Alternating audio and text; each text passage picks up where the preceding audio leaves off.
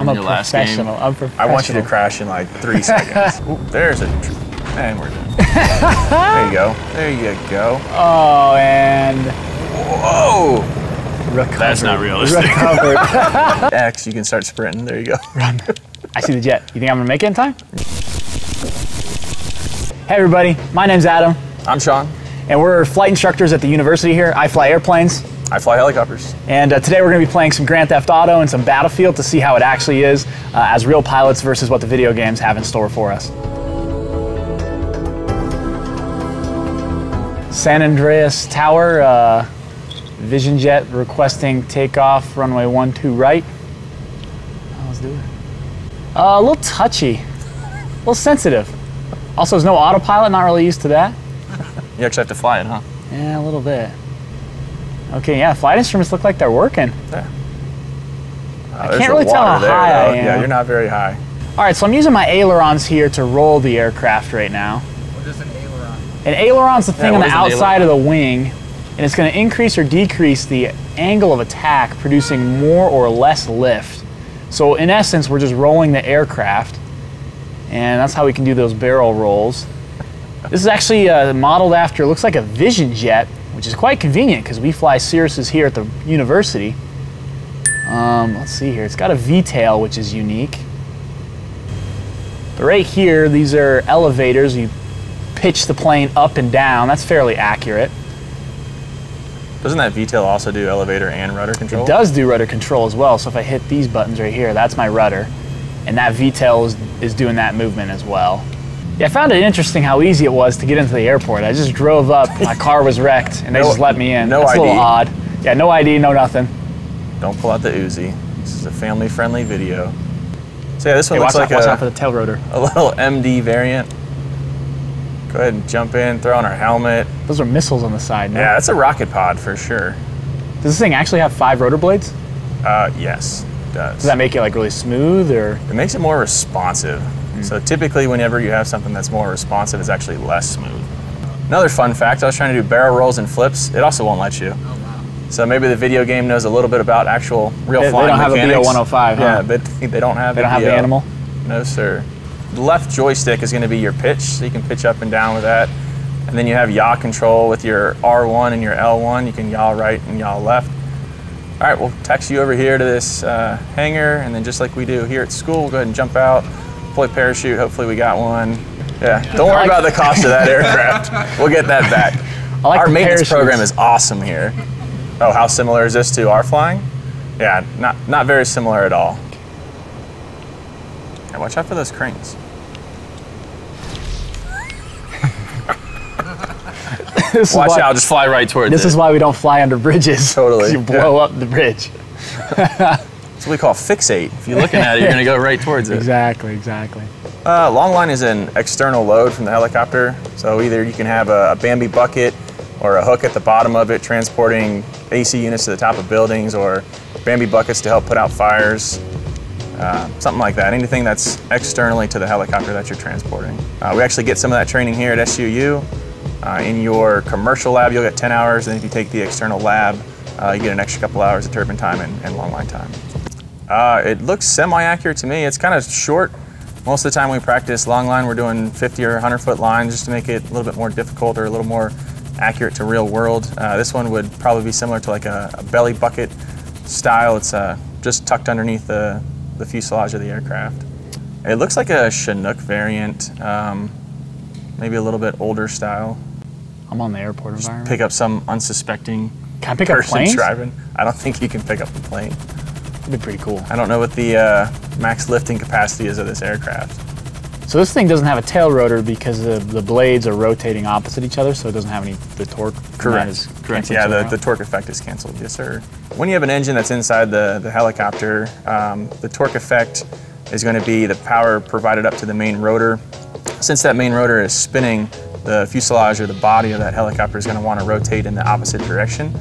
Um, so you typically have a, a tail rotor that's providing anti-torque uh, on the back end of that, that helicopter. You can usually see them on the back side of the tail. So um, if the fuselage wants to go to the right, uh, that torque effect is going to be anti-torque to the, the opposite direction to make you stay nice and straight.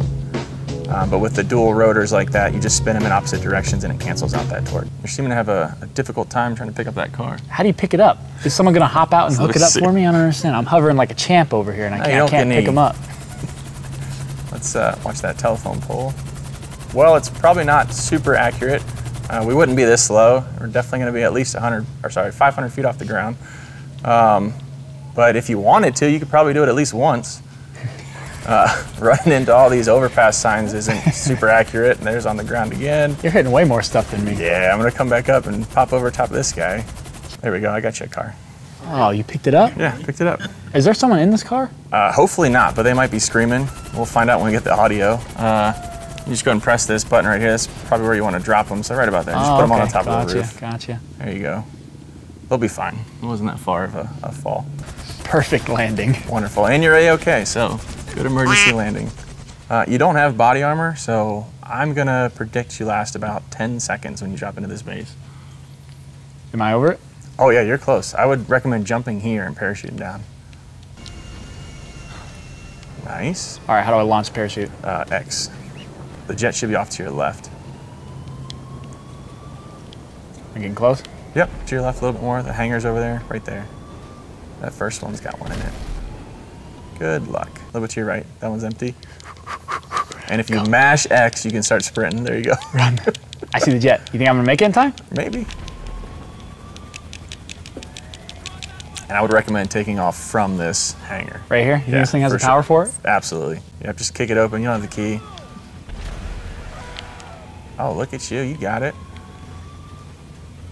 Let's go. Rotate. That's your V1. Oh, yeah. nice. And you got shot down. there's one missile. Smoking a little bit. You probably still fly with that, though. And there's the other. No! I got shot down! So don't steal jets from military bases, guys. Lesson learned. Lesson learned. Uh, it gets the it gets the thumbs down from the pilots. Uh, the helicopters.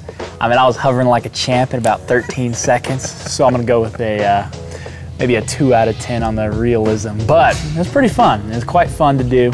I mean, I was taking off those jets in about 27 feet, so I don't know about that, but it was quite fun.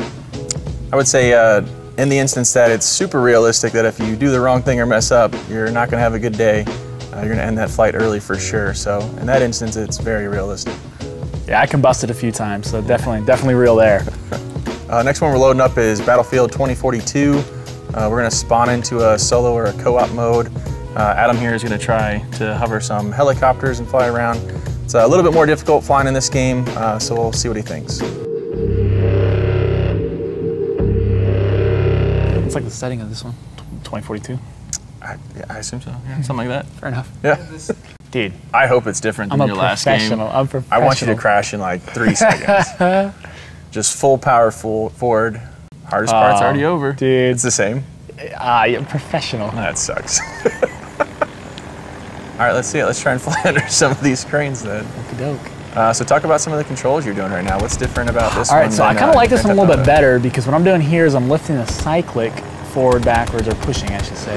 And then the collective's coming up or down with my left joystick. So I kind of like that. Correct. So the, the collective is going to be on your left hand. It's going to collectively pitch up both blades at the same time. Uh, so typically when you're trying to climb or add power, you pull collective uh, and it pitches both or multiple blades uh, at the same time to give you that lift. Uh, your cyclic is also going to pitch you uh, at different points in the rotation, but it's going to provide directional thrust uh, while you're in the helicopter to fly around. Yeah, I would say the, the similarity uh, between the video game and flying the, the real helicopters, there's obviously a learning curve. Um, depending on the game, it's going to be easier or harder. Uh, but you definitely have to, to learn how to fly the aircraft well, whether it's game or, or real life. So, learning curves for sure. So, using a professional flight simulator, they're going to be signed off so that you can actually log some of that time, uh, depending what that certification has on there, what you actually can log. Uh, if you're just at home flying flight simulators, most likely you're not logging that time. I don't know if Adam does, um, but you probably shouldn't be logging that time. The fact that I'm using this to control the helicopter right now, and the fact that I can go like this and hover and not crash is, is a little funny. That's because the you- autopilot's on. You should be used to that. Ah, you're right. I got Yeah. the frictions on. Is that what you guys have? Yeah. They should give me my commercial certificate in the helicopter. This is too easy. Yeah. Make sure you're logging this time. Oh, naturally. Yeah. I didn't get SFAR endorsed though, so I need. Uh, I still need to. go That's get all right. It's not a Robbie. It's a, it's a little Yeah, bird. there you don't go, need that there you go. 73. one. Wait, can this thing do a loop de loop? I think they can. I don't know. There you go. There you go. Oh, and Whoa! recovered. That's not realistic. Recovered. Don't worry though. He's still flying, still guys. good. Everything's. All right, how about this? I get some more altitude. All right, you got you got to hop in the airplane. I got to see some of this. Uh, I was killing it in that helicopter. be honest. I'm not very good at this. All right, here we go. A little F-35 action. I don't think this is as maneuverable as that. That. Oop, there's a. And we're done. don't hit trees when you're flying around. I don't know. I think that F-35 could have chopped that tree down. All right, that let was try a palm tree. Let me try one more time.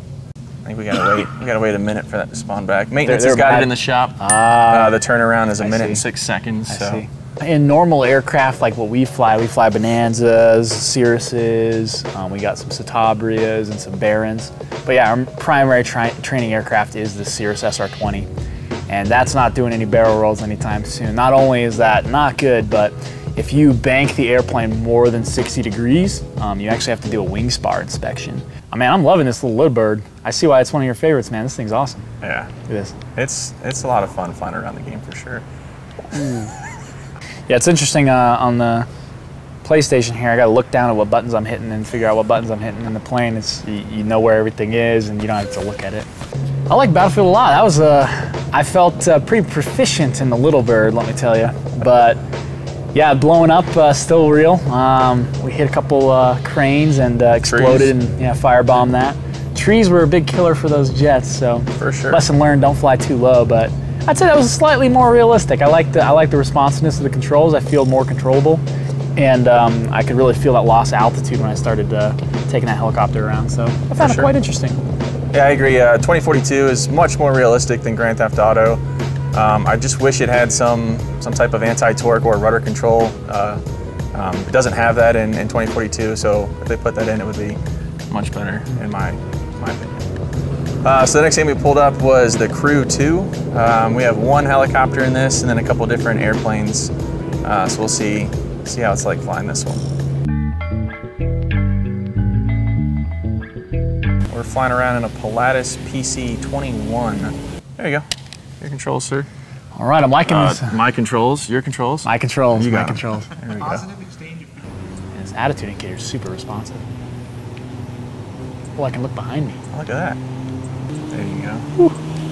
Nice. This is definitely the most realistic when it comes to the airplane. That's for sure. Yeah. Why is get- that? it just feels like I'm the vibrations, what's happening as I'm increasing my airspeed, just the feel of the airplane in general.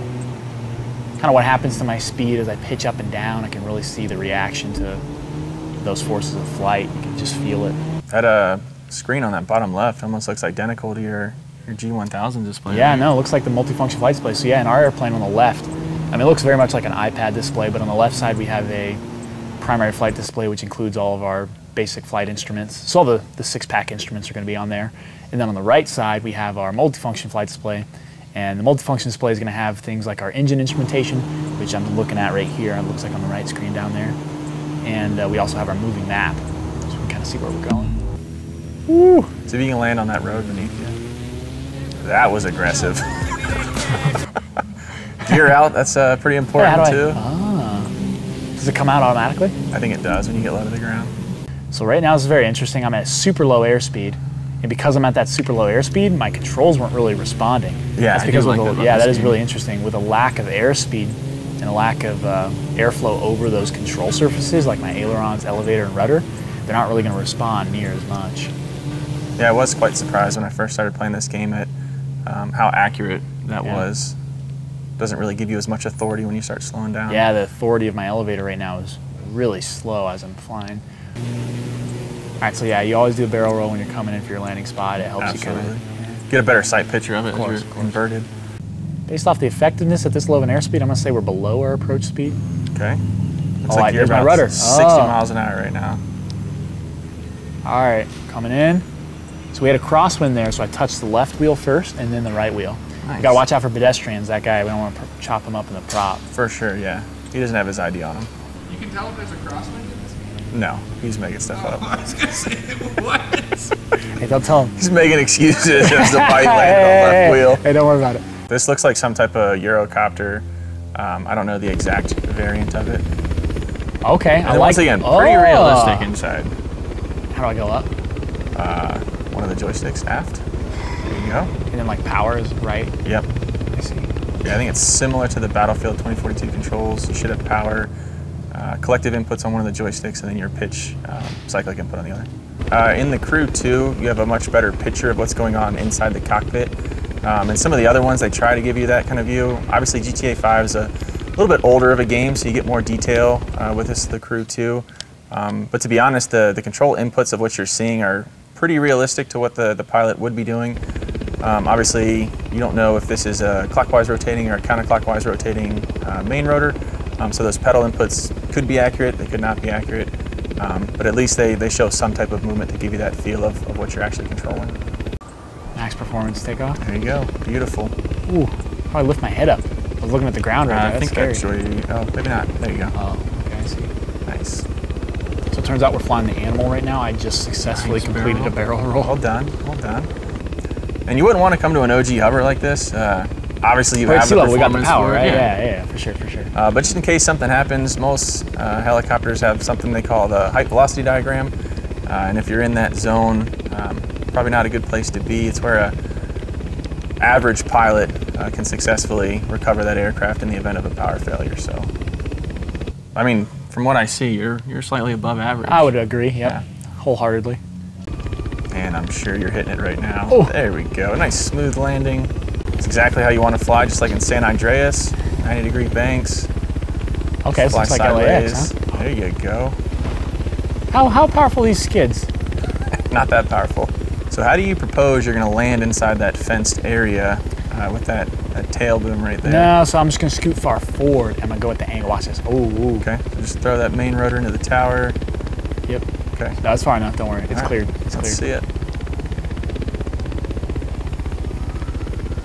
Like a glove. I think you're still on that fence. There you go, sitting on the fence, and now you're going backwards. There you go. Boom. Look at that. That rail is at the appropriate height for those main rotors just to Oh yeah, we're clear. Skim across the top of it. All right, now watch this. Let's see it. Textbook. Textbook. Textbook. Nice flare. Watch that tail. And we're level golden. pull. Yeah, another 26 points. Uh, hard landing we just had. So we just got done playing the Crew 2. Uh, we flew a Pilatus PC-21 uh, in a helicopter that looked like some version of a Eurocopter.